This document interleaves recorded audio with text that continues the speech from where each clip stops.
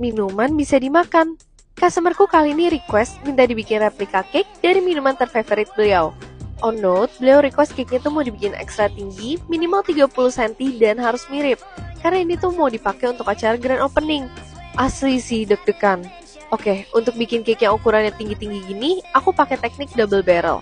Jadi habis di carve, dikasih double penyangga antar layer, setelah itu di cover pakai ganache. Terakhir tinggal ditutup deh pakai fondant. Dan yuk, mari kita paint dulu. Untuk warnanya aku pakai gel food coloring yang dimix sama mineral water. Terus tinggal ditap-tapin aja deh. Anyway, berhubung kita diundang ke grand openingnya, jadi sekalian aja lah ya antar sendiri. Sama perjalanan, jujur aku tuh nervous banget. Mirip gak ya sama aslinya? Mana selama jalan di mall, orang-orang tuh pada ngeliatin gitu.